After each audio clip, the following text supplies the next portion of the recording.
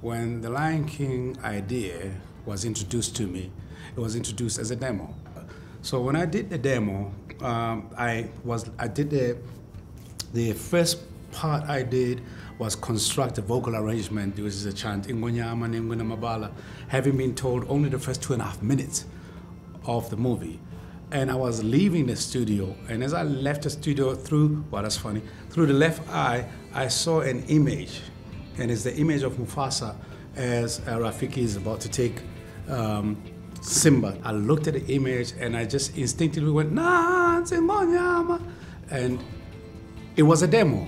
And the natural organic way how that evolved was such that when I got called in to now work on the movie, the professional came in to work on the movie in the studio and we set up the mic and the choir and then now, now let's do it. I don't know how many takes we did.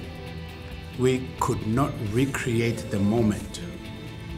As a result, 25 years later, what the world didn't know is the one take that I did of Nants' Ingonyama, the very first take is the only take that has lived for 25 years.